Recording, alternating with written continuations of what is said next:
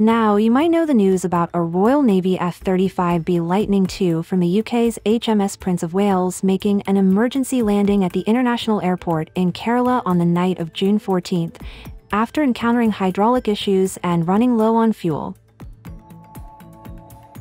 It diverted to a pre-designated emergency airfield in Kerala, landing safely at 9.28 p.m. IST with coordination from the Indian Air Force and civilian ATC. The jet was secured in Bay 4 under CISF guard. British Royal Navy technicians arrived that night by helicopter to begin repairs, but the hydraulic issues persisted. By June 20th, officials said the jet might need to be flown back to its carrier or a maintenance facility via military transport. During its stay, the Indian airport supported the UK crew with food, lodging, and ground handling. The most bizarre part? At the time of making this video, the fighter is still stranded in India, marking 10 straight days on Indian soil. Now, let's get to the juicy part, shall we? What did India get out of this situation? Did India just get a gold mine for AMCA? In short, yes. Now, I'll be honest, what comes next isn't confirmed fact, but it's an informed breakdown based on visuals, timelines, and design logic. It's speculation, yes, but not wild guesses. Before I start, let's talk about what India is capable of when it comes to fighter jet manufacturing. Currently, India can build heavy 4.5 Gen fighter jets, both single and twin engine. But it has no experience building a 5th gen fighter, although its scientists have extensively gathered know-how to build one but the first prototype, whenever it rolls out, will be filled with flaws and bugs, something even the F-35 went through. Now that the British F-35 has landed in India, most people will overlook this. But India just got a first-hand gold mine on the most advanced fighter jet in the world.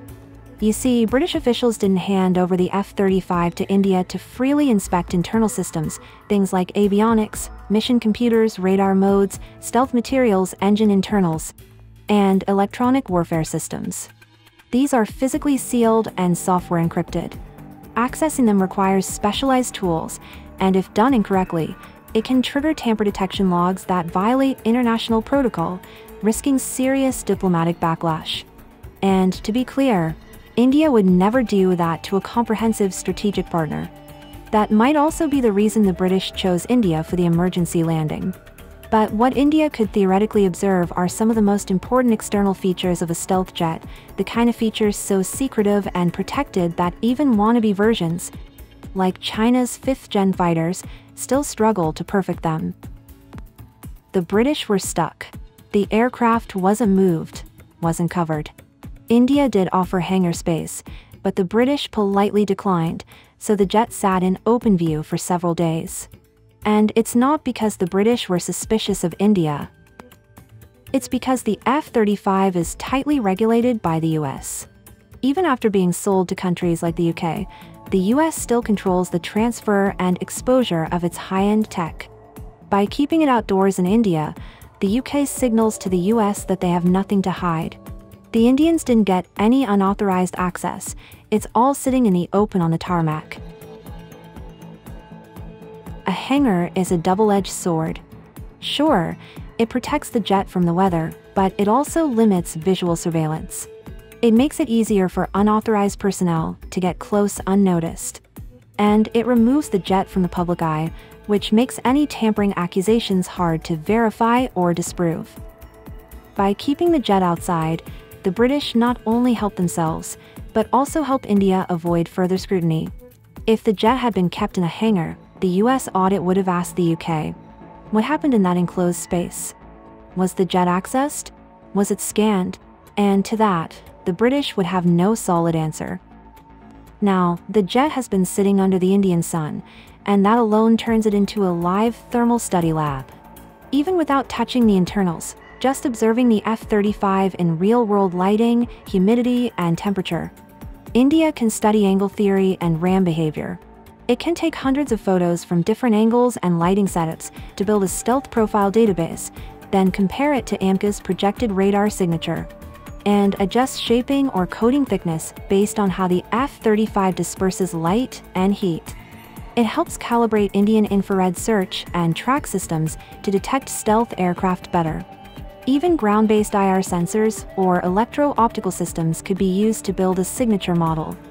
This helps India fine-tune detection algorithms, simulate tracking in hot environments, and refine future IRST and missile seekers. Watching how the F-35's coating responds to dust, UV, and humidity priceless, especially for DRDO teams working on RAM. Observing which external panels are accessed or avoided, where the wiring ports are located, and how things are placed, all help India design the AMCA for better serviceability without compromising stealth. And remember, India isn't a tech-deprived nation. It has a space agency that built a satellite capable of detecting extreme UV light from a galaxy 9.3 billion light-years away. Airports are equipped with military-grade thermal cameras. These can be used to study how heat builds up and dissipates from RAM coatings because some RAM dissipates heat unevenly, which affects how long it holds a thermal signature after exposure to the sun or engine heat. The F-35B's lift fan and swiveling nozzle create distinct heat patterns. These create thermal hotspots around the rear fuselage, ventral exhaust areas, and the lift fan doors, though those weren't used while the jet was parked. The electro-optical targeting system sits under the nose, behind a sapphire glass window, a heat-resistant and durable material. It's designed to minimize IR reflection and resist solar heating to avoid detection or sensor distortion. Studying how that electro-optical targeting system window responds to solar heating might reveal how well it stays thermally neutral, important for IR counter detection. That said, Unless India had very high-end optics, subtle changes would be hard to quantify. But India has optical zoom cameras, multispectral and hyperspectral sensors. Even civilian-grade sensors can pick up panel lines, seams, fasteners, and material differences across the skin.